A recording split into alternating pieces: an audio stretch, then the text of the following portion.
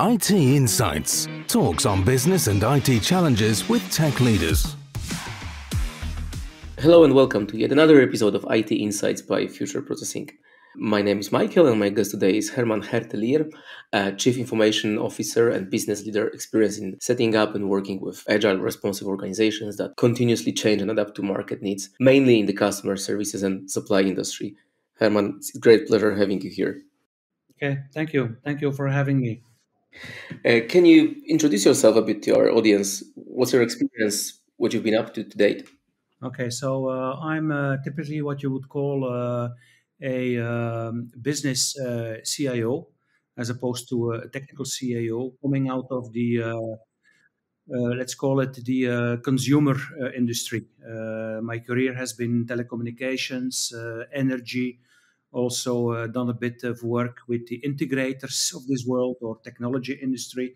And so now I sit at, in, in an international group that gives um, parking services across Europe and everything that goes with that into the parking industry.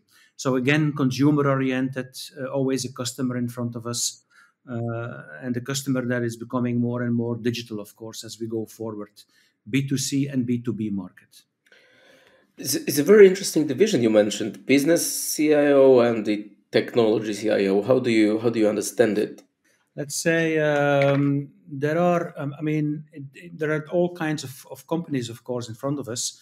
Uh, there are companies that whose uh, let's say way of doing business uh, and, and and and how they work uh, is quite stable because it's more uh, inward looking, like uh, the business of manufacturing, more B two B, business to business related.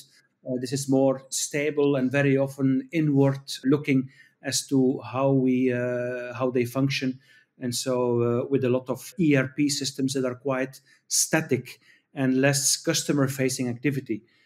Uh, and, and, typically, you will find there more technical oriented CIOs. A business CIO you will have find more in companies that are uh, facing uh, very dynamic uh, markets and dynamic because they are customer facing. So, companies being or residential market with customers that you reach out towards uh, through several channels, digital interaction channels that evolve with the behavior on the customer that also changes quite rapidly. And so there, there the uh, the intake is not so much rolling out, let's say, a, static ERP system. I'm not going to mention a few, but let's say static ERP systems. But there, the challenge is more just doing the next best thing, uh, having an impact on your customers on your employees internally in way of working in an environment that is very much uh, fast moving and where the better is the enemy of the best. So you're just going to do good enough and you're not going to go after the perfect type of solutions. You just want to know next step. I will never regret it. It will create me a little bit of value. Internal employees will remain happy because they are also customers and the external customers outside the company uh, will also kind of uh, get a better satisfaction and therefore be willing to to to strengthen the relationship with us. So so there you will have more uh, let's say business oriented CIOs. Thank you for this very interesting insight. I really like the bit about batteries. Uh, is the enemy of the best. I know I've heard it a few times as done is better than perfect, and I, I really do try to you know balance this and include this this balance also in in my personal career because I, I do value it. Uh, nonetheless, I understand what you described as um, being very much people focused and people centric, and that is more or less the topic of our conversation today: building and managing a one team attitude in the context of working with in IT and with external partners. So, with that in mind, we, we can start with a, with a high level discussion on what do you per- perceive digital transformation is all about? Because there's few takes on that and i know that you have a specific idea on on how do you understand that. So if you can please elaborate what's your, your approach to digital transformation? Okay so uh, digital transformation first of all uh, in that word there is digital. And and that's just a target a means to. A means to changing the way the company thinks runs and builds so this is really the uh, the underlying paradigm so typically, for example, uh, some customers they are kind of some some some enterprises companies are quite uh, transaction focused oriented. In many cases, in companies like companies like this, there is a need for culture change onto trying to step away from that transaction centricity towards more customer centricity, which is a, a culture change, which is really, uh, and digitalization comes into display, of course. But first of all, it's really transforming the way the company thinks, organizes itself, and, and goes forward from a, a too technical mindset very often towards more a mindset uh, that is uh, customer oriented. And digitalization plays a part in there, but it's not the only thing because it impacts the mindset of people, it impacts the organization of the company profoundly, which is also transformation. Like uh, in the context in which I'm active now at Interparking, now we are evolving the organization at the side of the business from transaction teams to customer teams and product teams, which has a profound impact on the way of working. And you kind of accelerate this by introducing business IT platforms that uh, accelerate this uh, learning. Okay, so this is really what what is about. This is really about transformation. So it's not only the technology dimension. Is this is not the starting point, but the starting point is more the people or, or the cultural uh, dimension that we talk about, and then compile up enough uh, momentum, motivation, and less fear into the company to, to do this step. And it changes profoundly how the, the, the, the company works. And so, in a way, I would say, of course, this takes a bit of time, but uh, the, the challenge is really to do very early small steps as we always as we always say and to go into some kind of a flow into the company so that you can call the company a learning company so you're not going to get there in, in let's say in in x number of months at a certain moment in time based on the first results the first steps that you have done suddenly you see that the company, through the transformation organizationally, becomes a learning company and the ball starts rolling and off you go. And there is a way of thinking, there is a way of doing your operations, there's a way of building things that installs itself into the company. And you have experience growing, learning, growing, and of course also value generated. This is, I'm trying to explain, this is what this digital transformation, what digital transformation is about not so much platform technology, but but the overall uh, company transformation. It looks like what I understand you're explaining is is this organizational culture where you shift your team, the mindset of the team, to being in a constant change. And in this kind of plan, do, check, act approach where you iteratively in, in a preset cadence see if what you do you know really brings you closer to the end goal. And then iteratively after many many iterations gets you gets you gets you closer. Is that correct? Yes. And and in fact don't do don't do too much planning planning if very often you have planning paralysis you, you try to think yeah you start with this Gantt, you know, everything nice and sexy in Excel and, and color coding, etc. exactly. You, you, you try to think it all through, you try to think about all of the risks, risks that you're going to encounter uh, on your path. Uh, you're afraid because you have never done this before, this way of thinking, this way of building, this way of running. Uh, and so, kind of, very often, what I say to the companies, and, and, and this is very often what they say to me, is that, uh, yeah, okay, we understand that we have to go there, but we have never gone there and we have never we have never worked like this. Can't we do some kind of a full fledged assessment? Uh, highly expensive consultants that come on board from another planet and do a some kind of a study and then we'll figure it out all out and then we do the first step so typically what i respond to, to that is i try to reassure them that that it's absolutely normal that uh, very often there is a lack of experience but we have to act it out. You have to start with the acting. You really have to uh, start acting out this new role, almost trick yourself into thinking, I've done this before while you haven't. You just you start applying it, this way of, of, of operating, this way of working, this way of approaching, for example, business customers with some new technologies, with best practices already built in that come from other industries, and you acted out as if you've done it before, but you didn't. And while you acted out, you kind of get your lessons not through the wisdom of a book, but you get your lessons through the field.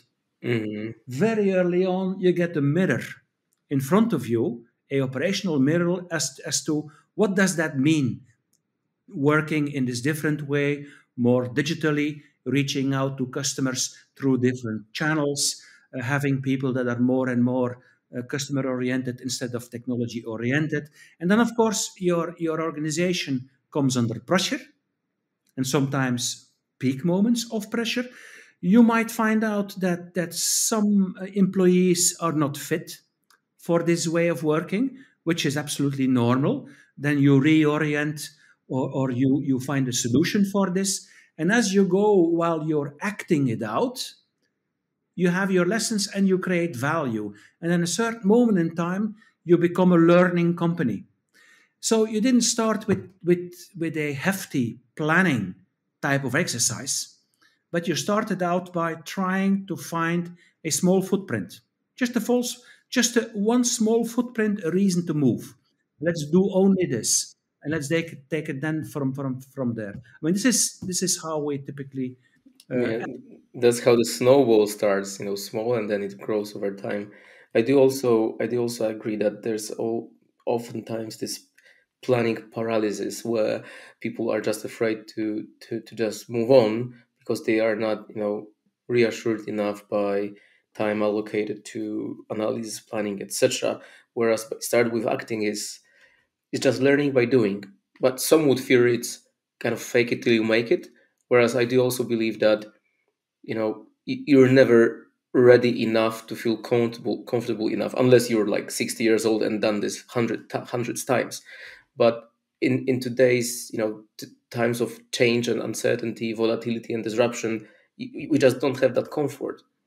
Yes, you do not you do not have the time to to think it all through and I think that, uh, of course, the, the, steps that we make are um, a minimum, I would say, um, analyzed, but, but not exaggeratingly. And uh, the first steps we take, they are, um, yeah, how would I say? The genius sits in keeping these steps simple, but still value oriented to an extent that they all feel the benefit uh, at all levels the C-level, the middle management, the people that live at these projects. So, so really, if we look at the step that we are doing, we invest more time if we think about definition time or planning time into uh, how simple can we make this? Uh, are there areas we have to cheat for example to make it even more simple? Because of course we always say there should be room for mistakes but not too many okay? But because the world around us is becoming more and more unforgiving when it comes to compliancy security and stuff. So there is of course a ticket in. Uh, but but we will will try to to to to to make it to a simple first step where we know that uh, okay maybe there is a risk but the chances of of success are quite high. For example about two years ago kind of the company kind of intuitively uh, came to the conclusion that, uh, yeah, sure, I mean, we have to become more and more customer centric. If, if a customer drives into a parking somewhere in Europe, we are responsible for that customer. Whatever service providers we have in the parking, recharging companies delivering to the booth, going to the toilet, going into the shopping center, catching your airplane, having your appointment with your doctor, if it is an appointment in, into the hospital or whatever. The moment the, the customer drives into a parking, we are responsible for that uh, for that parking, and taking it from there, we kind of yeah we concluded yeah we don't have that customer view. We need some kind of a customer platform. We could have started a hefty analysis of all of the solutions that are on the market contacted the Gartners or, or, or the integrators of this world analyzed uh, 3,000 pages of documents. But of course, this is what we, we didn't do. We just said, uh, look, that information on platforms and technology is there. Collectively, we have a few people, given our background, that have played around a bit with these kind of platforms. Let's do a V0. We, we give ourselves, uh, what was it, uh, five months to uh, break open the legacy, which was transaction oriented. We've cheated a little bit integration to go fast. And then we rolled out, based on a, a set of use cases of three countries, a first platform. And so a couple of minutes later, the platform was there already in the hands of business people. Was it uh, a huge step? No, it wasn't. Was it an important step? Yes, it was.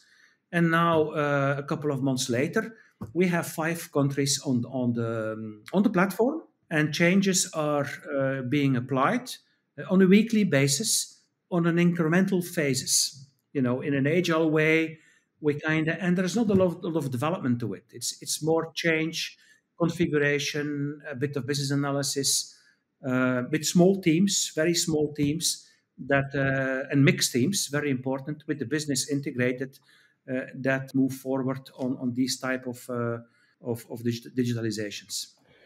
It, it really does sound like a very interesting case study, and I'm glad to hear that you were not you know, afraid of just giving it a go. Uh, but I wonder how do external partners blend into such context because more and more often in the IT industry, you just can't do everything your own uh, by, by yourself uh, with your own hands. And um, how do you, you know, perhaps evaluate partners? How do you prepare them for cooperation in that manner? Do they, you know, fit or not? What's your What's your take? I think, uh, well, first of all, um, you say partners, so that's already a very important word. Uh, partners, uh, as opposed to uh, suppliers, and for us, partners, for me, this means that these partners, and especially the culture of these partners and the people that sit in the scope of these partners they are capable of blending in to that culture of the company. Okay so this means that uh, for example we have several development squads that work on all parts of digitalization with respect to marketing sales communication billing and, and, and so on. These small squads very often they are constitute small teams constituted of people coming from several horizons. Okay. Now it might be in one squad that we, for example, have two partners that delivered two uh, people. We also call them colleagues, by the way, uh, with maybe a senior specialist here locally in Belgium for the whole of Europe. This squad thinks as a team. This is very important the partners they have to understand this in the sense that like if we have a, a partner between brackets that has a reflex of if something doesn't work into that team if these people will go to their home office and complain we are kind of worried. The squad should think as one team wherever the people come from from which horizon and that squad should escalate the points that need to be escalated to get more support, to communicate an important thing, and so on. So, like kind of, and this is a culture thing. So this means that uh, if if if uh, someone that comes from from a partner company and sits into a interparking development squad, they really have to think as to one team and emit the messages, the next calls, the escalations together jointly uh, if I don't know if I make myself clear, but this is some kind of a mindset that is, well, not well. It is. I was going to say hard to find. Maybe it is hard to find, but it it it stands or it falls with on one side the culture of the partner and on the other side the capacity of us to convince and motivate people into the party, uh, partner context to work for us. We need to convince them, we need to motivate them together with the partner to say, look, there is the case, interparking, for example. We have a couple of challenges. These are the challenges. This is what we know. This is what we don't know. Typically, we will always try to explain that to potential candidates at the partner to explain the challenges because we know if the individual sees something interesting, sees a challenge into this, we know that this person coming from this partner, if the partner allows their people to be quite open about integration, we know that that it's going to work. You see, it's it's uh, we are not into uh, what we sometimes refer refer to as uh, trying to find a uh, development sweatshop or a body shopper or whatsoever. We're trying to find partners that understand very well. We need to convince our par- our people, and you, Mr. Customer, so us in this case, you also need to convince our people because we need to keep them also motivated. So we have a common objective. We all need to remain motivated so we can mobilize these mixed teams in a geographic setting that is uh, anyway uh, more and more a small village uh, today. So, so this is not, uh, and and this is I think this is what qualifies a good partner. And typically we will do a number of small tests. We will again, I mean, this is again the same view. Act. Don't plan for a new partner. Act. Try to have a few discussions. Visit the partner. Try to see how they are organized try to see how many toys you can see into the building. Try to try to really try to, to sense the culture of the partners and then act. Act on something that is relevant and see where it goes. And then it proves itself and then more and more it becomes something that is integrated and trust based i think that's important. Is that what you call the right shoring then? Instead of offshoring nearshoring? I, I noticed on your linkedin profile that you use this word right shoring yeah. So the right shoring, uh, well, this is something I've written 100 years ago. so uh, no, the, the, the, this is not what I meant with, with the right shoring.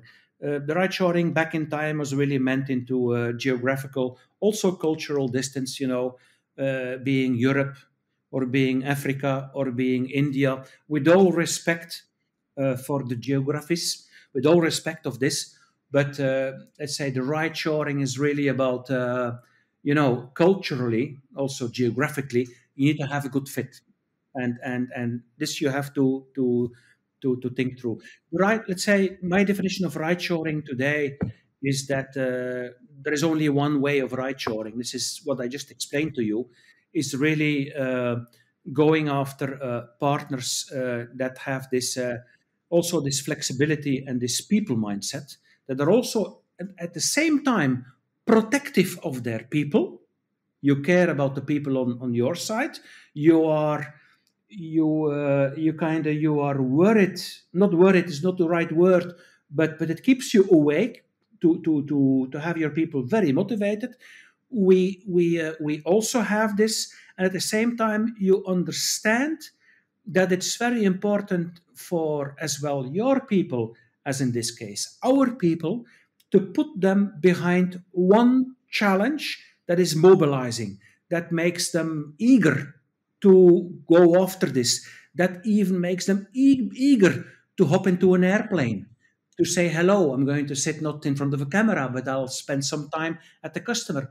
We also get into an airplane to, we send also developers or analysts to the partner to say, look, we can't do this all the time, but we have a challenge we understand the challenge we have a network we set up and this is this what i call this this people oriented uh, approach that is so uh, so fundamental and then even more and more uh, important with the younger generations that uh, that come on board now. They really for them uh, you can see this that's very important for them. So what's the biggest challenge when it comes to building such a mindset such a team such a partner collaboration was was the biggest deal? Uh, I think uh, the hard skills, finding the hard skills, that's not the biggest challenge. Okay. Uh, in any case, uh, these kind kind of profiles, if I may call it like this, their profession is learning and fast learning. That's their profession. They're used to that. They can quickly get and acquire the hard skills. Of course, some things are, are maybe super specialized. A data scientist, you don't become that overnight. But in general, they are quick learners. The real challenge, again, and I'm going to repeat myself, is uh, to have people on board that go the extra mile, that go the extra uh, stretch, that uh, that that feel that they for that mission, for that challenge, for that objective, that they uh, kind of sit into this one team. Sometimes they might be working with a with a colleague. I always call them colleagues who has a French name or a German name, a Polish name, but whatever. It's a small team, five six people, and they they know that it has to be like a watch. It needs to, in all trust, function together. They need to have a feeling of uh, they can they cannot be beaten. I mean, they are unstoppable. You see, this this kind this is more attitude that that we are going after, and it starts with the culture of your company. This this this let's say attitude at the, the individual level, culture at the partner level. Uh, so that's I think uh, that's that's very important. This is the main challenge because very often, let's say, uh, sometimes it doesn't work. We've we've had cases where uh, it, uh, it it didn't didn't work. Uh, luckily, it it was uh, the engagement was a test, not too fundamental. we, we, we kind of tested it with, with all the explanations, and it didn't work because we didn't have this this connect, this one team kind of integration. You just know. Sometimes after uh, you give it a try, few sprints, you just know whether it fits or not. Yes, and and you can't really, you cannot always explain why it doesn't work, but it doesn't work. Yet again, I understand that you just acted, test and tried instead of planning and you know being paralyzed on the on the very early. Yeah. Thank you, Herman. It was a, a very interesting discussion. I really do I feel like we're on the same page when it comes to plenty of, of, of, these approaches that you described, being a learning company, not spending too much time on planning, instead start with acting, focus on the culture and the right fit, and understand that not everything's the right fit, but you know, you have to know what's your fit and then look for that and test, test and try. That would be this episode in a nutshell, more or less. And I can really tell that you're passionate about it, which I guess is helpful. it helps, yeah. Thank you, Herman. It was IT Insights with Future Processing. Okay, a pleasure. Thank you. Visit us at itinsights.tech and dive into our podcasts, webinars, and events.